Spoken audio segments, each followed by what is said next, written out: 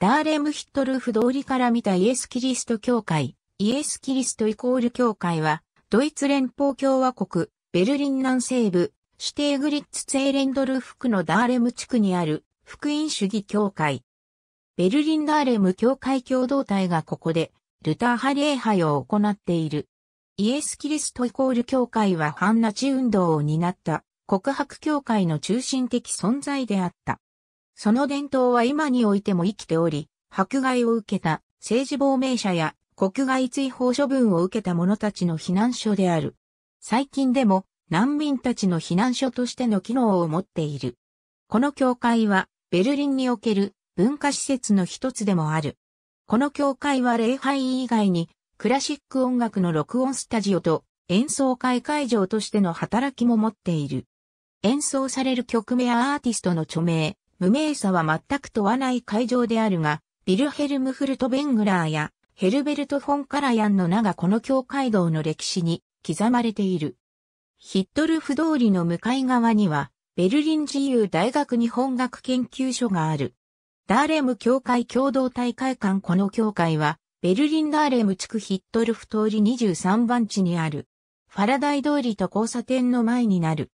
この教会が属しているダーレム教会、共同大会館は、ベルリン地下鉄、ダーレムドルフ駅に近いティールアレイ1から3番地になる。ケールイーズ通り55番地には、ダーレム教会共同体に属する、もう一つの教会、聖ヤン連教会がある。ダーレム教会共同体には、イエス・キリスト教会と聖安年教会の二つの教会が属しており、教会墓地は聖安年教会の敷地にある。この教会墓地には著名な学生運動家、ルディドチュケが埋葬されている。ダーレム教会共同体は、ベルリンブランデンブルクシュレージシェ、オーバーラウジッツ福音主義教会のベルリン教区、テルトーツェーレンドルフ地区に属している。ダーレム教会共同体の属しているベルリンのこの宗教会は、ドイツ福音主義教会に加盟し、合同教会として福音主義合同教会にも属している。1934年10月第2回告白教会総会開催記念名版、イエス・キリストイコール教会は1933年から1945年まで告白教会に属していた。1931年にはマルティン・ニーメラーがダーレム教会共同体の第三牧師として招聘された。第三牧師のニーメラーは本来聖安年教会側で働く牧師であったが、彼が礼拝説教を担当すると礼拝出席者が殺到したため、聖安年教会の古くて狭い教会道では収容しきれず、イエス・キリスト教会の広い教会道を利用することが頻繁に発生していた。1933年1月30日にナチス政権が成立し、キリスト教会においてもナチズムを支持するドイツ的キリスト者運動が発生した。これに対して、マルティン・ニーメラーは、牧師緊急同盟の結成を全ドイツの福音主義協会に1933年9月21日に呼びかけた。この牧師緊急同盟には、ドイツの牧師の3分の1が加入した。翌年の1934年5月に、バルメンにおいて、第1回告白協会総会が開催され、バルメン宣言が発表された。1934年10月19日から20日まで第2回告白協会総会がこのダーレム、協会共同体の施設、協会道を会場にして開催された。20世紀初頭において、ベルリン郊外のダーレム御領地の区画は農地として供給しないことを国側は決定していた。ダーレム御領地の土地区画は別荘もしくは邸宅用地として供給され売却された。その後、地域住民の数は急激に増加した。1904年の段階において104人だったダーレムの住民数は1919年には12,600人になっていた。多くの新住民が、とりわけ高級管理がダーレム地域に転居した。中世紀に建設された聖安年教会では増加した礼拝出席者を収容するのには小さすぎた。そのため、福音主義教会共同体は、第二教会の教会道設計コンペを告知した。1914年3月15日に、ハインリヒ・シュトラウマーの境界道建設に関する設計案が選ばれた。しかし、この設計案は第一次世界大戦が勃発したため、現実のものにならなかった。境界共同体の経済的状況が好転した後、1927年にティールアレイに境界共同体会館が完成し、境界道建設が具体化しだした。設計コンペに関して、ルートビヒ・バルトニングが大きな影響を与えていた。彼は建築家、オットー・バルトニングベルリン芸術大学教授の弟で、教会共同体の役員でもあった。彼は当時流行していた、教会道のスタイルを好んでいた。それは、教会道入り口に向かい合う形で祭壇を置く、スタイルであり、説教団の価値を重く見ない傾向がその時代において顕著であった。この影響が1928年11月に公示された設計公開コンペにも出ていた。1929年3月における設計コンペにおける当選者は、ダーレムの建築家のユルゲン・バッハマンに決定した。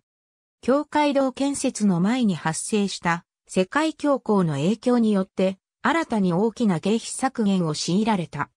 その結果、境界道に付帯する住宅用建物の建築は延期された。1930年10月18日、提訴式が行われた。困難な時期であったが、ダーレム協会共同体は新たな方向性を社会に示した。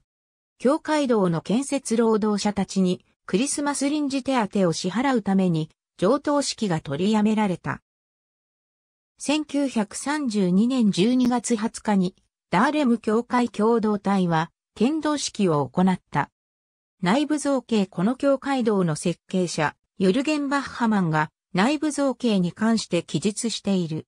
境界道の空間は明るい壁と暗い天井でできている。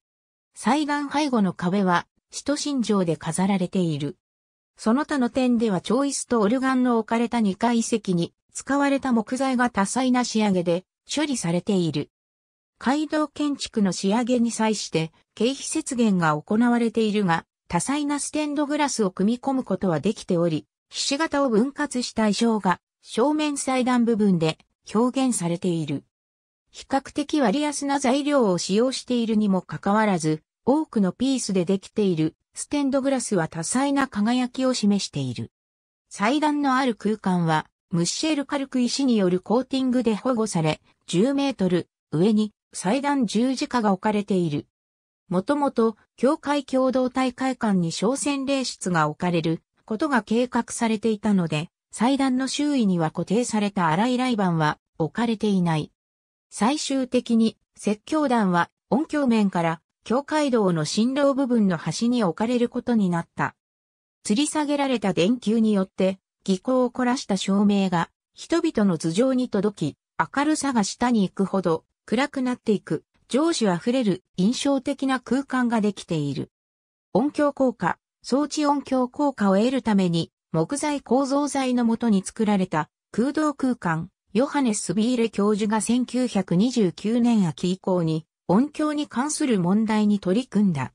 境界道振動において22メートルに及ぶ高い天井を持っているため、これは容易な問題ではなかった。そのため、彼は境界道設計者に対して疑義を表明した。しかしながら、この高い天井は驚くべき効果を示した。音響効果の良さは尋常ではなく、説教においても、音楽演奏においても、境界道入場者数の高に左右されない素晴らしいものであった。この原因として、天井の構造がスリットの入った木製ハメ板で構成されていたことであった。外部造形ファサードに据えられたキリスト彫像教会道建築において、設計者は明るい赤色の硬質レンガを選んだ。高級住宅地であるダーレムの雰囲気と公園の緑に合わせるための配色であった。明るい赤色、赤褐色、黄色という類似色相配色の硬質レンガが組み合わされた約50メートルの高さを持つ教会塔はダーレム地区にあってすぐにわかるようにそびえ立つように設計された。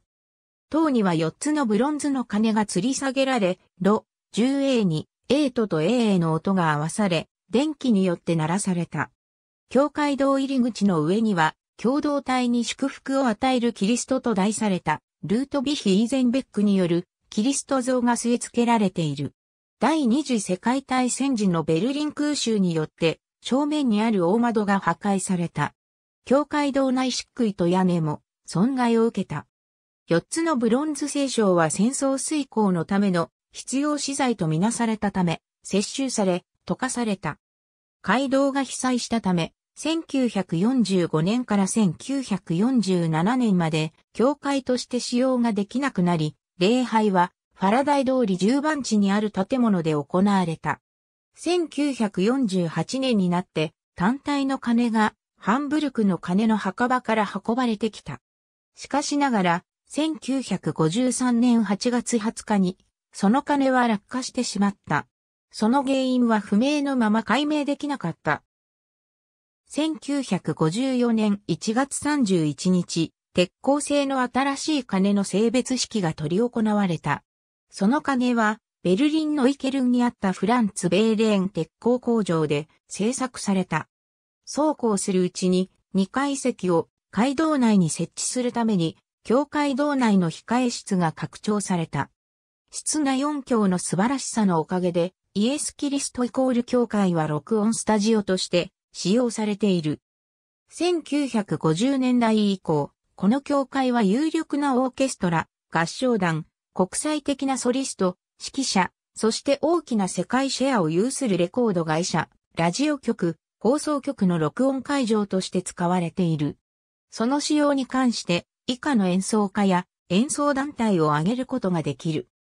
ベルリンフィルハーモニー管弦楽団、その指揮者として、ビルヘルム・フルトベングラー、カール・ベーム、フェレンツ・フリッチャイ、ヘルベルト・フォン・カラヤン、クラウディオ・アバド、ダニエル・バレンボイム、共演した世界的演奏家として、スビアトスラ・フリヒテル、ムスティスラフロストロポービチ、アンネゾフィムター、キドン・クレーメル、アンドレイ・ホテーフ、オルガ・シプス、ルチアーノ・パバロッティ、ミレッラ・フレーニ、バルトラウト・マイヤー、ジークフリート・イエルザレムらがいる。